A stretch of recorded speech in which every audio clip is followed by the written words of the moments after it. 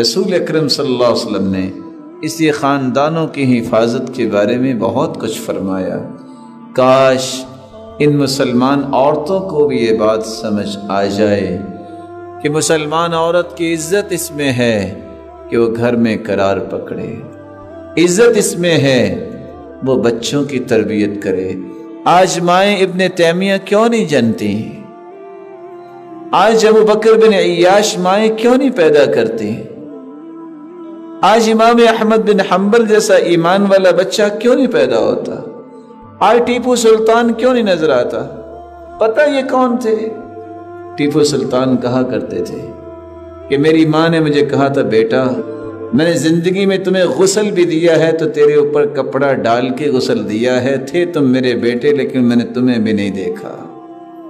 کیسے اس ٹیپو سلطان میں حیا نہ ہوگی؟ یہ کون ہے امام احمد بن حنبل؟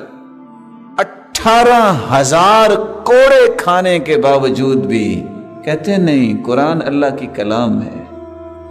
یہ مضبوطی کا پہاڑ کیسے بنا تھا؟ اٹھارہ ہزار کوڑے کمانا سمجھتے؟ یہ کون تھے ابو بکر بن عیاش؟ جب فوت ہونے لگے تو بیٹی اور بیٹا رو رہے ہیں۔ کہا، بیٹا، کیا ہوا؟ کہتے ہیں، آپ کے فراق میں رو رہے ہیں۔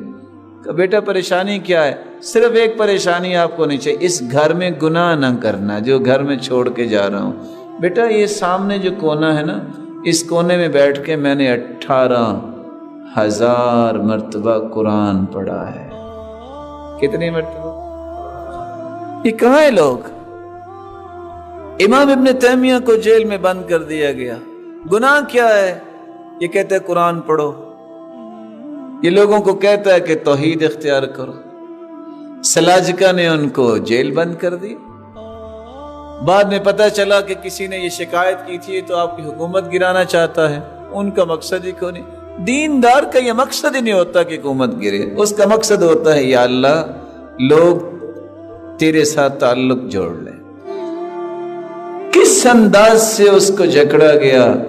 اور وہ اسی حالت میں ہاتھ بندے ہیں، قرآن پڑھ رہے ہیں۔ اسی مرتبہ قرآن پڑھا۔ کتنی مرتبہ؟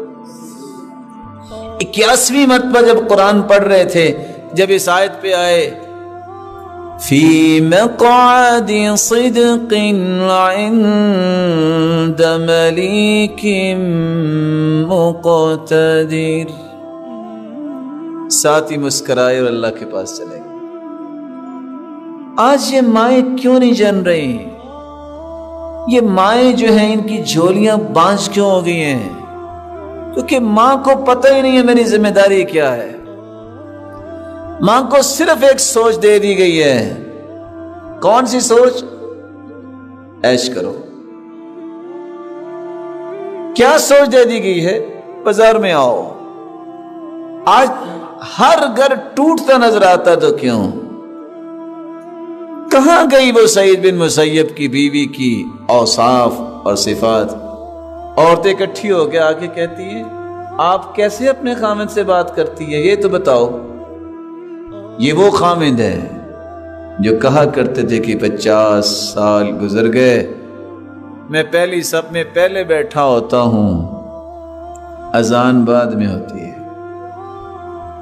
کہا ہم اس طرح بات اپنے خامن سے کرتے ہیں کہ میں تکلمون امراءکم، جس طرح تم گورنروں سے بات کرتے ہو۔ وہ ادب کہاں گیا؟